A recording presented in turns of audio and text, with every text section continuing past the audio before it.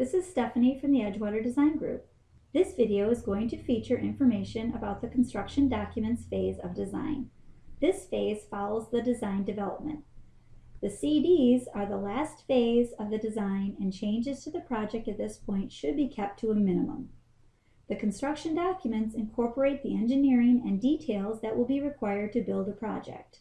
Lots of drawing time and engineering create a substantial set of drawings that become part of the client's contract with their builder. For this phase of work, our engineer, together with one of our designers, creates the foundation plan and details. There are many varieties of foundations. The type that is designed will depend on the building site and the type of soils located there. The foundation is a key structural component of a building. It anchors a structure to the earth and supports the weight of a building and all of the different structural loads. Generally, foundations are made of concrete with reinforcing steel.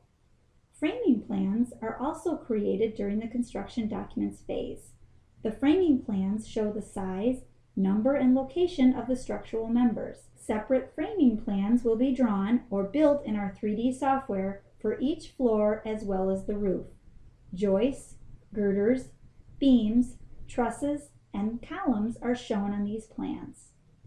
Many structural details are required for a new building.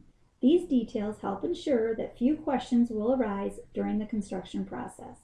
Foundation details, framing details, and connection details are unique to a project to help create the most safe, stable, and efficient construction possible in a given scenario. Edgewater Design Group firmly believes that a thorough set of construction drawings is the best service to our client. While we love starting with a pretty picture, we know it is critical to make sure that pretty picture is safe and long-standing.